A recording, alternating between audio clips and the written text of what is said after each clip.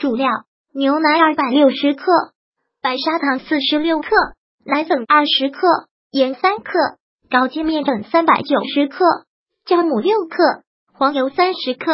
辅料：奥尔良烤鸡腿、生菜、西红柿、沙拉酱。准备时间两小时以上，制作时间十分钟内。依次在面包机桶中放入牛奶二百六十克、糖四十六克、奶粉二十克、盐三克、高筋面粉三百九十克、酵母六克。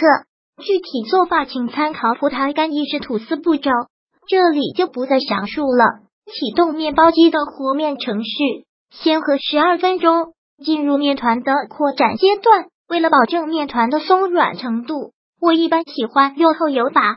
就是先将黄油外的材料和成团后，再包入黄油。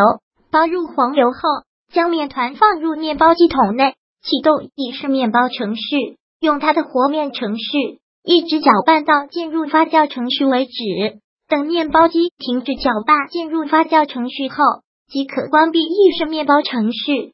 另外，启动发酵程序，用面包机自带的发酵程序进行发酵。直至发酵至两倍多大后取出，将面团取出经揉排气，分割成八十克左右的小面团，盖上薄膜进行十五分钟松弛。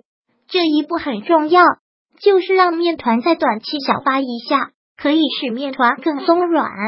我用的是较大的硅胶案板，所以也没盖薄膜，直接将硅胶案板先一半起来盖住，也可以保湿不干的。在汉堡模具内壁上均匀涂抹上黄油，可以让汉堡轻易脱模，而且口感更香。将松弛好的面团擀成椭圆长条形，放入模具内，压扁些没关系，发酵后会往上长高的。烤箱底部放一碗热水，将模具放入，用发酵程序使面团发酵至两倍大。在包好的面团上抹上一层蛋液，撒上芝麻后，再抹上一层。可以防止芝麻脱落。烤箱预热，上下缓一百六十度。烤盘放中下层，烤约十分钟。中途注意上色、颜色过深要调整温度或盖上烤纸。烤好后的汉堡取出晾温。其实，在我家，汉堡做好后一般是食品袋密封保存起来，到第二天早上才能做的，这样可以保存两到三天，松软也没有问题的。第二天早上。将前一晚上做好的汉堡胚取出，可以放烤箱用一百度热一下，或在微波炉里转十秒钟。将前期做好的奥尔良烤鸡腿烤热，准备好生菜、西红柿切片，汉堡胚从中间剖开，加上生菜，撒上沙拉酱，加上西红柿片，加上奥尔良烤腿。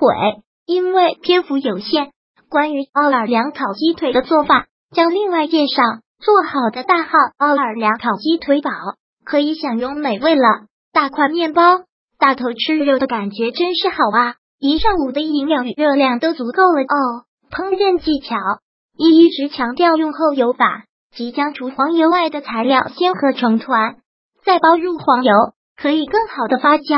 二、汉堡胚可以做两到三天的量，密封保存会依然松软。